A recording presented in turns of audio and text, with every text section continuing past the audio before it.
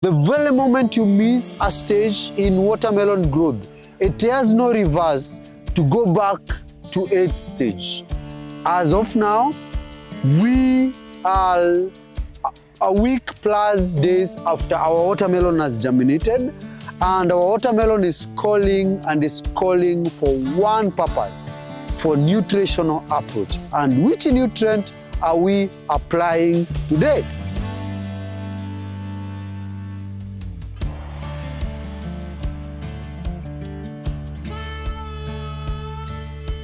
Should we apply fertilizer at planting or should we not apply?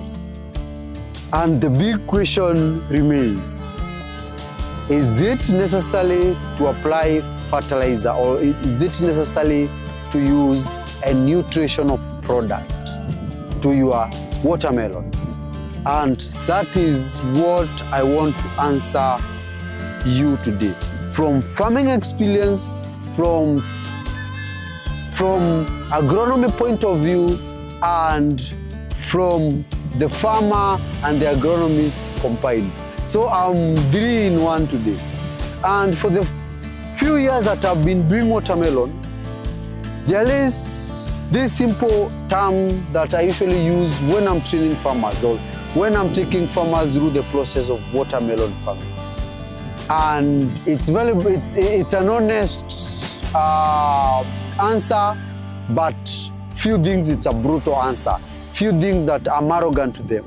When I tell them that watermelon will never forgive you. Watermelon will never forgive you. People think that I'm, I'm arrogant to them when I tell them that.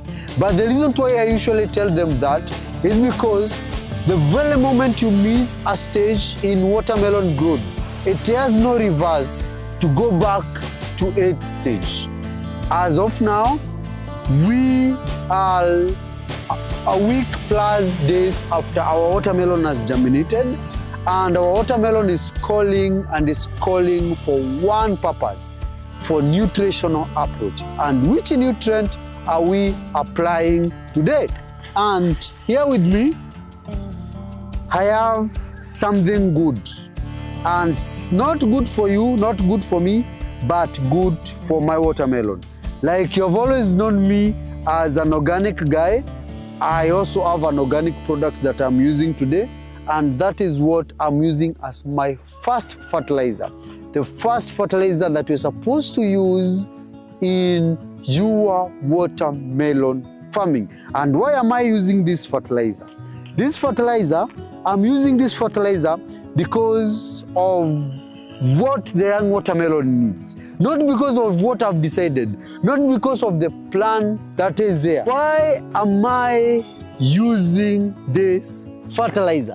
Why am I, have I decided that today is, a, is fertilizer applying application day? Why is it so? It's not because of the plan, it's not because of my agronomic services. It's not because I have money to do it. It's because of what the young watermelon has requested me to do. Let's take an example. When it rains, when it has started raining, how do you behave? Do you continue putting on a t-shirt like the one that I've, I've put on? Do you continue putting on a cap that, like the one that I've put on? What do, how do you respond?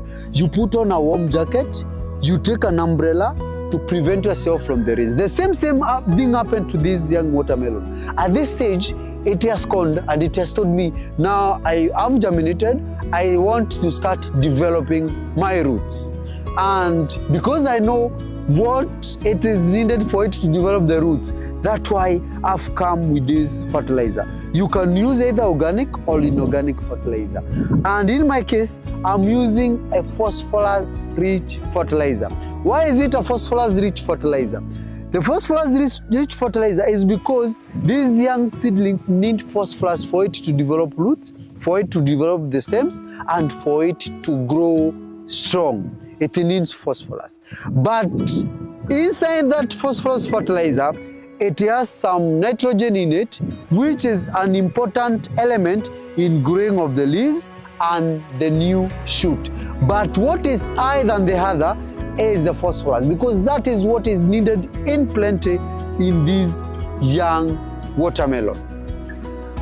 You need to start paying me. You need to start paying me. You need to start paying for these tuitions because there is no class that will ever teach you this. So, you as a farmer, away from payment, I'm very happy, even if you are not paying and I know you are not going to pay, you are here benefiting from what I'm telling you. Because if it were not for you, subscribing to this YouTube channel, joining this class, I could not have motivation or I could not have the reason why I should wake up tomorrow and prepare more notes and prepare more videos to train you. But because of you, that's why I'm here today. So the first fertilizer for the young watermelon, which is supposed to be done the first week after germination, or once you transplanted, because are other farmers will decide not to, to do the seeds, they are going to do the seedling and now they are they, they apply the fertilizer. After the seedling has been done, you apply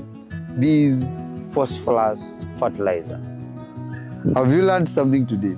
On top of that, on top of that, if you cannot use the granule fertilizer, which is the one that I'm using today, you can also use a foliar fertilizer. But remember the concept, it's phosphorus based foliar, phosphorus based fertilizer, or phosphorus based product. So phosphorus must be higher than other nutrient when you are starting your watermelon farming journey. Hope you've learned something from our today's session and if this is the first time that you're watching me, kindly subscribe to this YouTube channel so that we can continue learning together.